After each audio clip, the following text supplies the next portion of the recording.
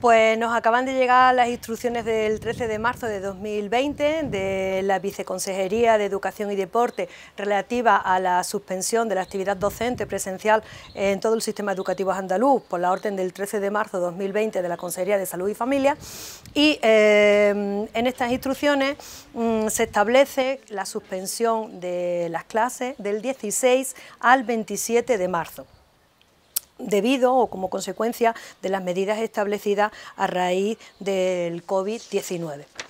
Eh, nosotros a nivel de centro, y tal y como viene recogida en las instrucciones, en el apartado 1, eh, que nos dice que los centros educativos en el ámbito de su autonomía adoptarán las medidas que consideren más adecuadas para garantizar la continuidad de los procesos de enseñanza, aprendizaje y la coordinación docente, atendiendo, entre otras, a la edad del alumnado, la tipología del centro, la etapa y la tipología de la enseñanza, pues hemos establecido una serie de, cauces eh, para eh, poder eh, ponernos en contacto con la familia y mm, orientarles, aconsejarles lo importante que es el sobrellevar esta situación, manteniendo la calma, sin estimular en exceso lo que son los miedos y aconsejándole que es muy importante la reorganización de los tiempos. Para ello hemos establecido una guía para la familia que se llama Cómo organizarnos con los niños y las niñas en casa y que lo hemos enviado también a todas nuestras familias vía pasen. En ella establecemos eh, una serie de rutinas diarias, rutinas en relación al tiempo eh, para ver la televisión o la exposición de, nuestros niños y niñas a las pantallas, eh, rutinas para establecer los tiempos de lectura y la tipología de las lecturas, rutinas para establecer también los tiempos de juegos, que son muy importantes para los alumnos, juegos de mesa, juegos de construcciones, también rutinas para que los niños se acostumbren a recoger sus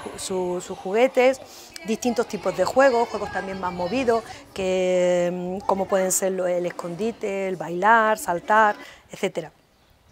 Establecer también tiempo para relajarse, relajarse en casa a través de la escucha de música, eh, a través de, de, hacer ejercicios de respiración, de yoga, de mindfulness, aquellas familias que lo practiquen, tablas de ejercicios físicos o bien tocar algún instrumento musical.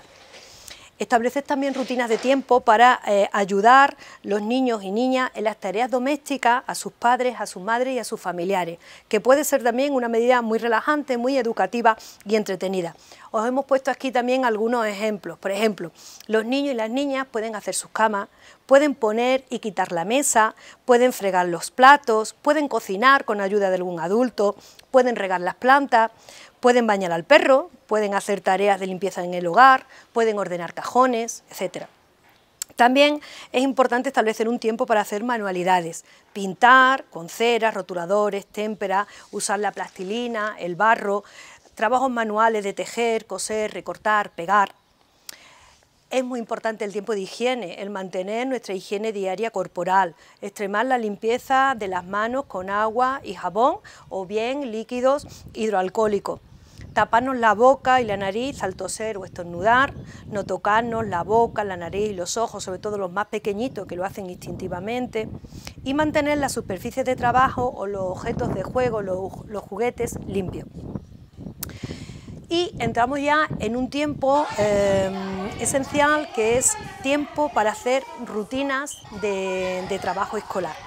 Para ello hemos establecido un horario, que es una propuesta que os hacemos llegar de lunes a viernes como centro. Para ello proponemos que el horario donde, o en principio se podrían levantar los niños sería a las 8 de la mañana, como muy tarde, que desayunen y se hacen. Sobre las 9 de la mañana empezarían a hacer las actividades escolares. Estas actividades escolares os las vamos a enviar a todos los padres vía y pasen por niveles educativos. Hemos propuesto dedicar cada día de la semana a un área. Los lunes trabajarían los niños en casa las matemáticas, los martes la asignatura de lengua, los miércoles ciencias naturales, los jueves inglés y los viernes ciencias sociales. A las 12 aproximadamente dejamos un tiempo que, coincidiría con nuestro tiempo de recreo para que los niños también en casa puedan realizar juegos de razonamiento lógico, percepción visual, agilidad mental o memoria. Os recomiendo también que, que vía internet hay muchísimos juegos y también online en donde los padres podéis coger ese asesoramiento para luego llevarlo a la práctica. Sobre las 2, la hora de la comida.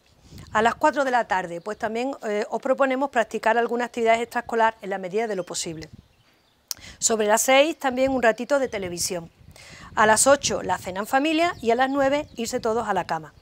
Durante el fin de semana os proponemos el hacer actividades en familia, aprovechar el entorno y aprender divirtiéndonos.